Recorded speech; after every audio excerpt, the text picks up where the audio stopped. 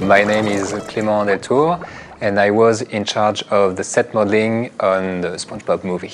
So in a few words, my job consists in modeling every set and every object that you see in the movie. So it's a bit like you know sculpture, but we made it with you know computers and tools.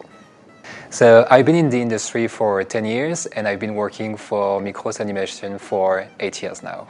My greatest pride is uh, that with all the, the sets that we had to model, and we had plenty, I, do feel like in terms of quality, every set has been achieved you know, nicely and we don't feel like you know, some sets have been you know, done too, too quickly or everything is looking, you know, overall the quality is very consistent.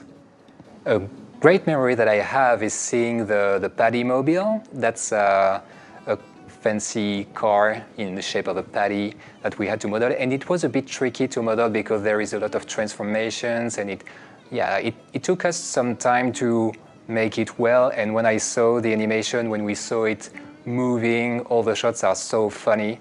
Uh, it was a great memory and it, that was very satisfying and very rewarding.